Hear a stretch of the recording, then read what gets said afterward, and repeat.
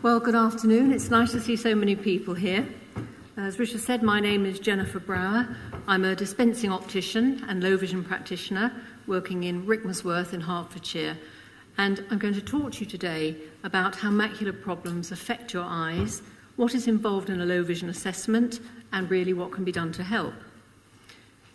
Low vision is the term used when someone's sight is below normal, even with spectacles or contact lenses, and they have difficulty with everyday visual tasks such as reading, writing, or watching TV. At the start of a low vision assessment, the practitioner will check your sight and determine how well you can see with and without your spectacles. Before I talk about the assessment in more detail, it may be useful to explain what a dispensing optician is, because often people don't know.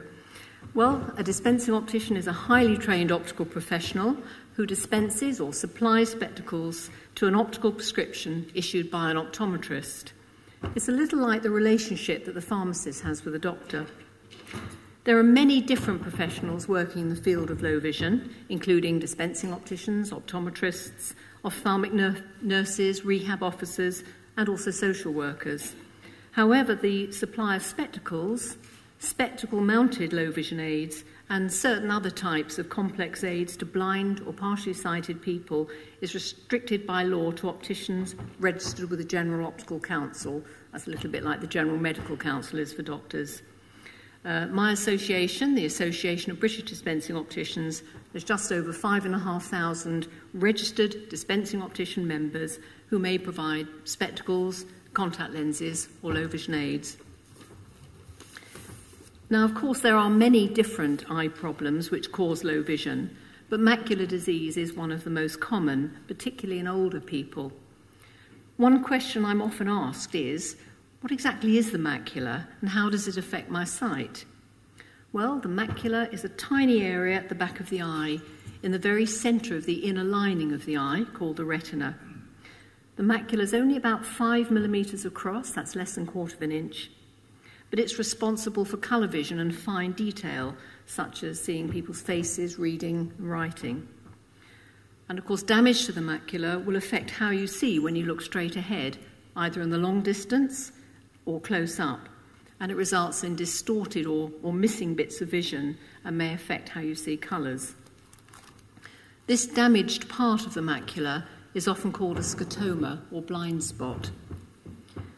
The most common cause of macular damage in older people is macular degeneration, but other causes include macular hole, diabetes, and high myopia.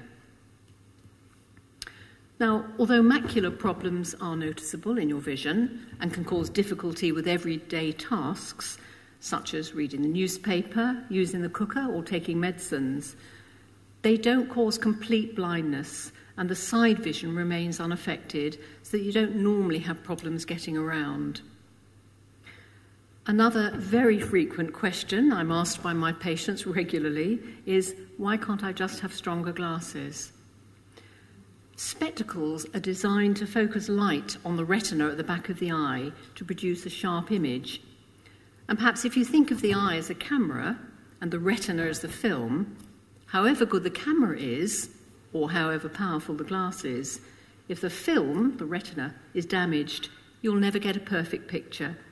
And increasing the power of the lenses will simply produce a blurred image in the eye. Spectacles can help, though, in a different way and I, I will speak about that a little bit later. If you are someone with low vision, you may be registered partially sighted or blind, also known nowadays as sight impaired or severely sight impaired.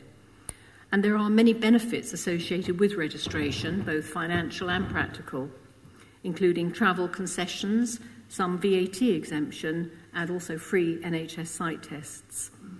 Of course, registration is optional, but it is worth thinking about if you've been advised that your sight has reached this level and cannot be improved by medication or surgery.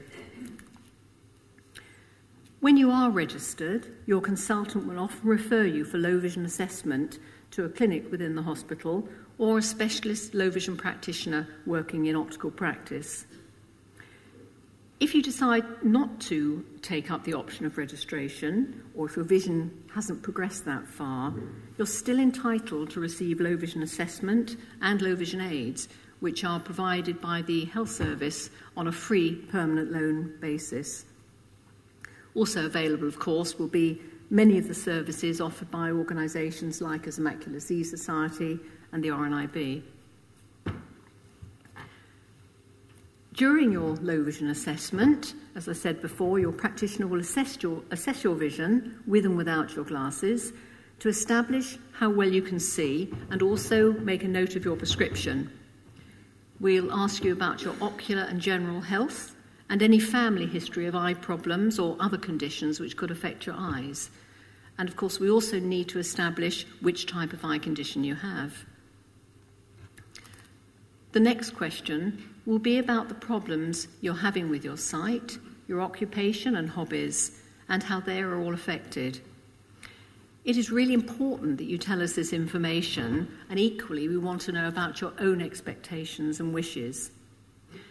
Sometimes patients say they don't read much, but is that because they're not interested in reading, or because it's just too difficult to see the print? People don't always volunteer information about their hobbies, hobbies that they may have given up, maybe because they think there's no chance of getting them back.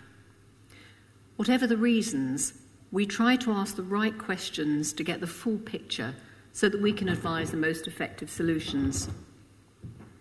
It might, of course, also be worth considering some new hobbies where vision isn't really that important, but we do try to do everything possible to help you continue with your favourites.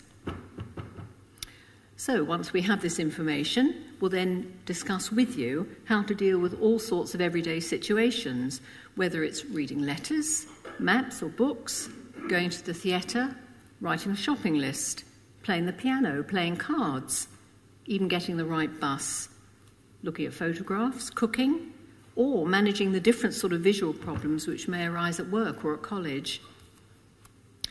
The good news is, and I'm sure most of you are aware of this, that people with macular problems usually respond well to magnifying aids because by making things larger, they become easier to see.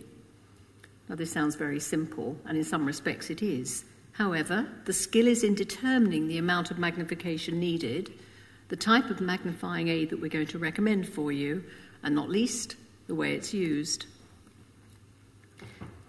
Now, the reason that magnification works is that the size of the damaged macular area remains constant, whatever you're looking at. If you imagine, say, putting a five pence coin on the page of a book, of course, you won't be able to read the, the letters or the word underneath this coin. If you then take the book away and you enlarge the print size sufficiently, then put the 5p coin back in the same position, it will cover much less of the word and you'll probably be able to read it all.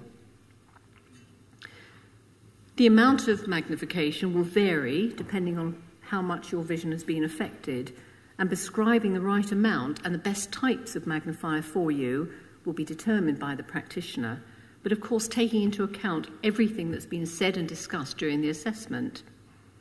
Your practitioner will normally assess the magnifica- magnification required for both far distance and for reading vision,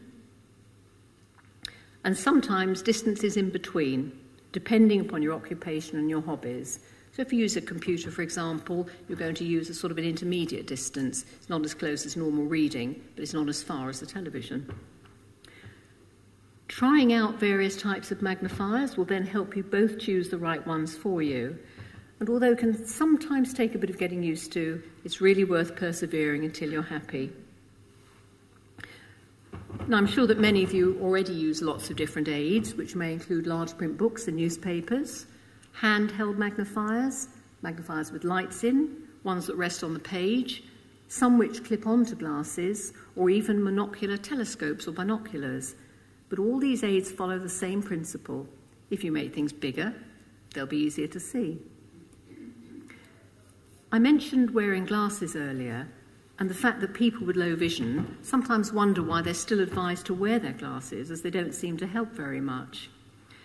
Now, I said that lenses focus a sharp image onto the retina at the back of the eye, even if you can't see it sharply. And it's this which gives the best foundation for magnification because you're magnifying a good, clear, sharp image rather than an out of focus, fuzzy one. Your practitioner may also advise you to wear your long distance glasses with certain types of magnifiers and your reading glasses with others. One problem which comes up all the time is if you wear bifocal or varifocal lenses. Because the macular scotoma, or the blind spot, is in the very centre of your vision, when you look straight ahead through the small reading area of a bifocal or varifocal lens, the scotoma may simply just block it out and it's virtually useless. It's often better to have a separate pair of spectacles just for close reading so that you have the whole lens at your disposal. And that can make quite a difference to the amount of magnification you need. Because the smaller the amount, the better, because larger images take longer to read. The type of magnifier recommended will, of course, depend on what you need to see, the amount of magnification required, and how easy it is to use. There are many other considerations to take into account, such as how far you have to hold the magnifier away from what you're looking at. Again, what we said, whether you need to use long distance glasses or reading specs, and how light is going to affect the amount of magnification that you need. If you maybe have a hand tremor or some arthritis in your fingers, it may be quite difficult for you to hold a magnifier. And there are plenty of hands free options, such as a magnifier and a cord, which you can wear around your neck, or a flip up lens clipped onto your spectacles. And these will be much more comfortable to use. To expand further on the range of low vision aids, handheld magnifiers are the commonest and may be round or rectangular and vary in size. Although rectangular magnifiers are quite good because they do tend to give a wider reading area. The general rule is the smaller the magnifier, the more powerful, the higher the magnification. And the higher the magnification, the closer you have to hold the page or the print to your eyes. Both circular and rectangular types are available as simple magnifiers of low power, which make things, say, two or three times larger, sometimes including a light, right up to very complex magnifiers, which need very precise focusing and magnify up to 30 times. If you only need low levels of magnification, just need a little bit of help, you may like a flat field magnifier, also known as a bright field magnifier or bright mag, because it gathers in a large amount of light. It's a small, clear, dome shaped block, simply rests on the page and doubles the size of the print. One of the advantages of these bright mags is they're very easy to slip into your pocket or handbag, and they're very discreet in use. We do try to advise things that don't draw attention to the problem Stand magnifiers are round or rectangular, and as their name suggests, they also rest on the page, but this time in a little frame, and that holds the lenses a few inches above the page. They're designed so that you can get a pen underneath the lens, so they're useful for both reading and writing. Very good for crosswords and puzzles because, of course, they magnify both the questions and the answers. And stand magnifiers are very useful things like knitting patterns or recipes because, again, they're hands free. Just move them across the page as you want to read more of the recipe. Now, there are very special reading glasses available called spectacle magnifiers, which have very powerful lenses, and they can be helpful for people who don't normally wear glasses for long distance. They're another hands free option, but again, because of the power, the print has to be held quite close to the eye for the right focus.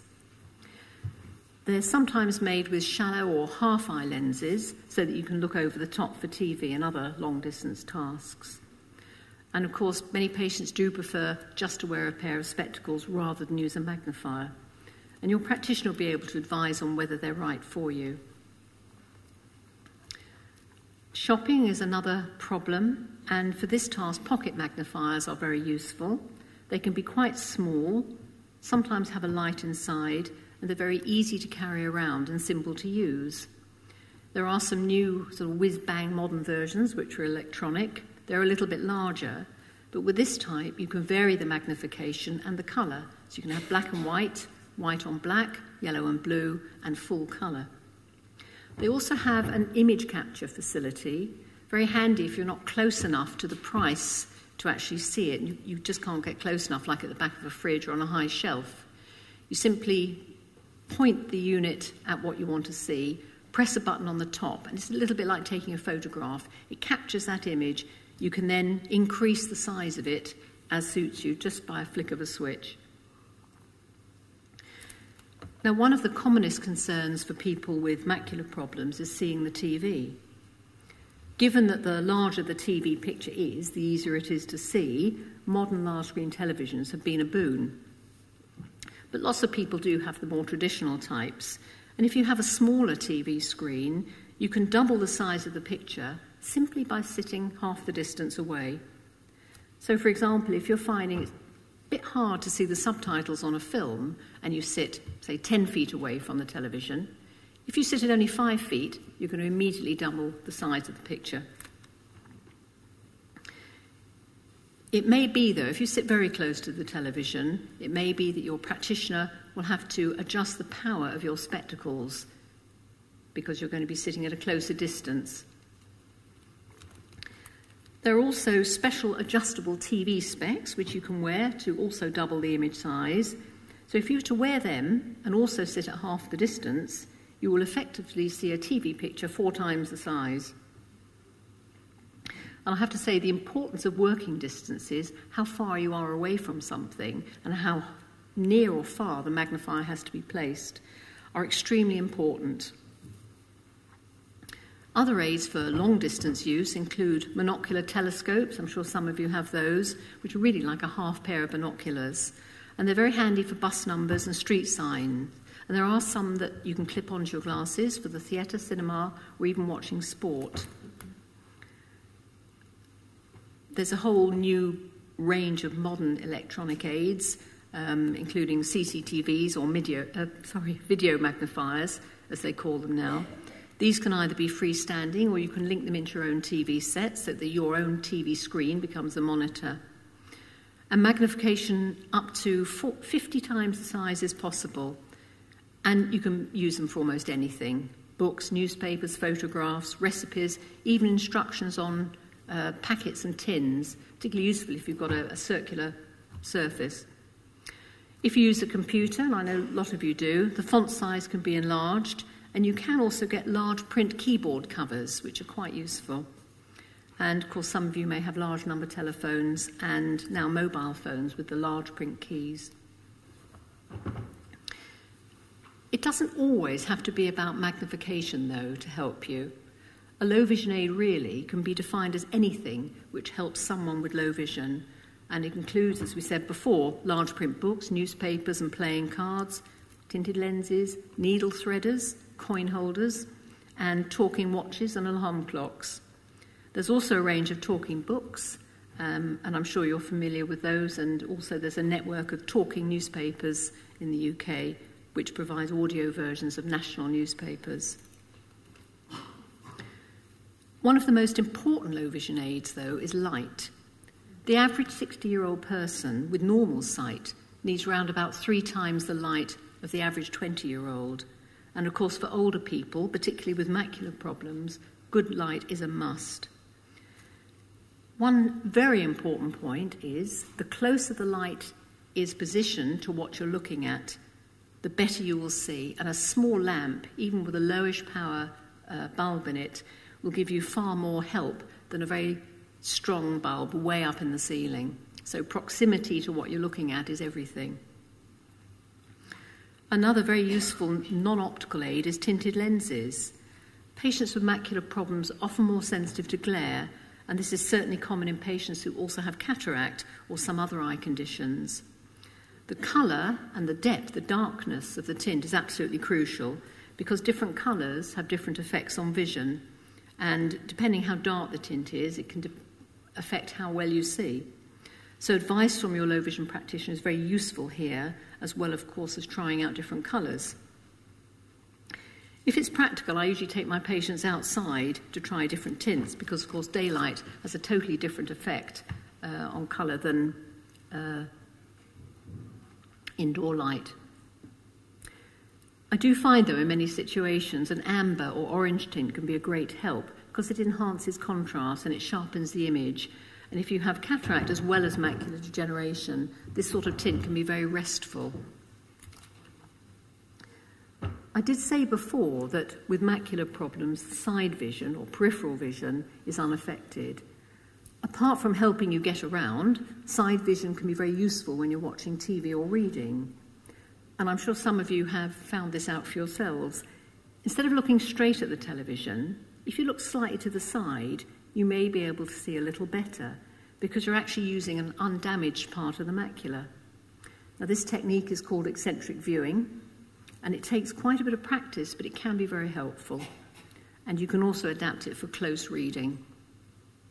Another technique to help with reading is called steady eye strategy, and in this case, the eye remains still and the page is slowly moved across the line of vision. That takes a bit of more getting used to, but I do have patients who use it very successfully. At the end of the assessment, you will often be able to take your aids away with you unless something special has to be ordered and you normally collect it a week or so later. You'll normally be given a date for a second visit so that the practitioner can assess how you're getting on with the aids whether any changes are needed, and discuss any concerns you may have. After that, aftercare generally continues on a 6 to 12 month basis so that we can monitor your progress with your low vision aids and also keep a watch on your sight. But of course, we're always very happy to see you in between if you have any problems or if you need any replacement magnifiers. Also, very important, we recommend that you have your eyes examined regularly by the optometrist, usually once a year, to keep a check on the progress of your eye condition and any changes to your spectacle prescription. I hope this talk has been of some use for you.